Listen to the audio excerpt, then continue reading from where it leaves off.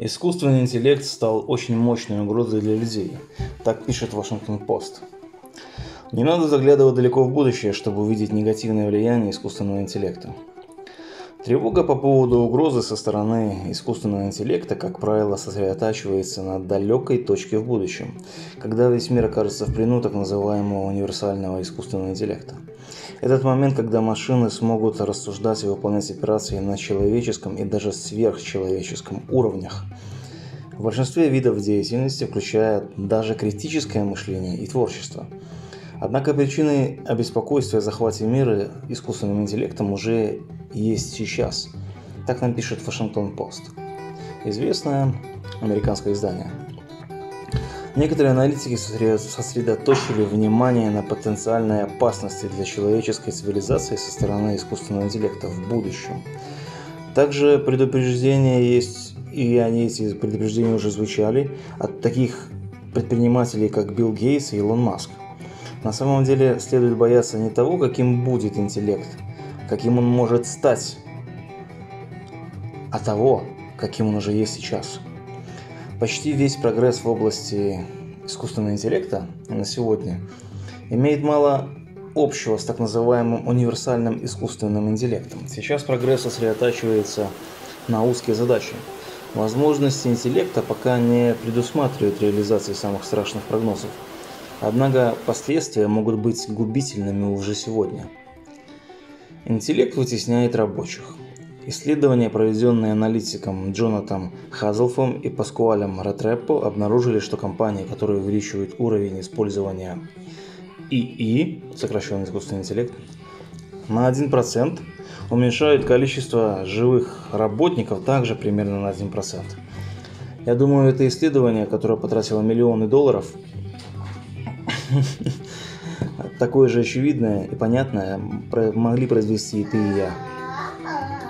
И, конечно, искусственный интеллект предоставляет новые технологии мониторинга, используя корпорации и правительством, часто в негативном аспекте.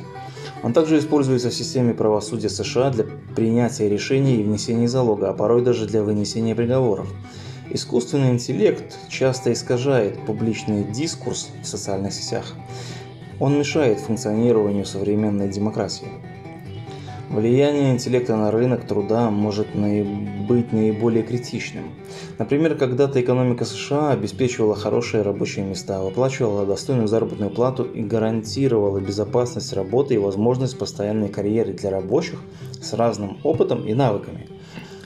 С конца Второй мировой войны и середины 70-х годов США наблюдается не только значительный рост занятости, но и стремительный рост заработной платы – этот рост остановился задолго до развития искусственного интеллекта. В 1980-х годах средняя заработная плата упала в относительную стагнацию. Люди, которые не получили высшего образования, стали зарабатывать меньше. Опять-таки подчеркивается значительность высшего образования. Но продолжим. В тот период автоматизации и рабочих мест, а также переход компаний в другие страны и области вызвали упадок. Но сейчас интеллект ускоряет эти негативные тенденции. Многие работодатели, ориентированные на сокращение расходов, воспользуются любой возможностью, чтобы устранить рабочие места с помощью новых технологий и автоматизации, что и происходило всегда. Некоторые экономисты считают, что страх автоматизации и вытеснение работников интеллектом – это преувеличение, глобальное преувеличение этой же самой статьи. Они утверждают, что по мере того, как работа становится более автоматизированной с помощью интеллекта, полученный прирост производительности будет способствовать росту спроса на рабочую силу в других частях экономики, а иногда даже тех же компаниях, которые осуществляют автоматизацию и управление искусственным интеллектом. Если бы технологии интеллекта были действительно достаточно продуктивными в задачах, которые они выполняются сегодня, этот аргумент имел бы определенный вес. Современные технологии интеллекта не просто далеки от универсального искусственного интеллекта. Они часто проваливают выполнение задач, которые уже должны были стать нормой. Например, распознавание лиц или понимание речи. Это означает двойной вред для рынка труда, поскольку, поскольку технологии интеллекта вытесняют живых работников и не создают увеличение спроса на рабочую силу, который должен обеспечить значительный прирост производительности. Другие области применения интеллекта, вероятно, усилят рост власти корпораций над рабочей силой, позволят улучшить мониторинг рабочих.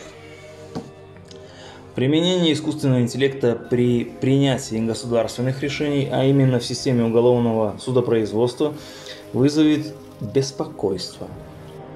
Факты свидетельствуют о том, что алгоритмы часто наследуют, а иногда и усиливают имеющиеся предубеждения и несправедливость. В таком случае искусственный интеллект наносит ущерб демократической дискуссии и общему политическому строю в целом.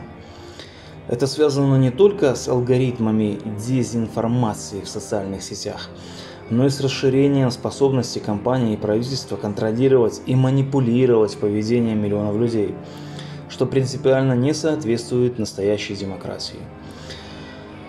Открою глаза тебе, мой дорогой друг, у нас в нашем современном мире много, великое множество вещей, которые не соответствуют настоящей демократии.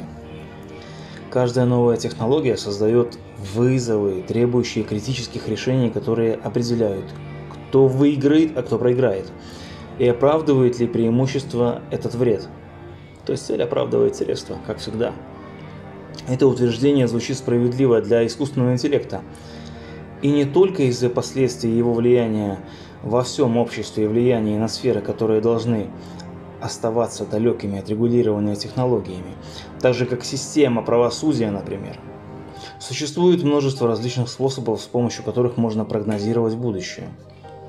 Интеллект, начнет ли интеллект активно работать, чтобы вытеснять живых работников и следить за людьми, или он будет направлять на расширенные человеческие возможности, создавая новые перспективы для рабочих.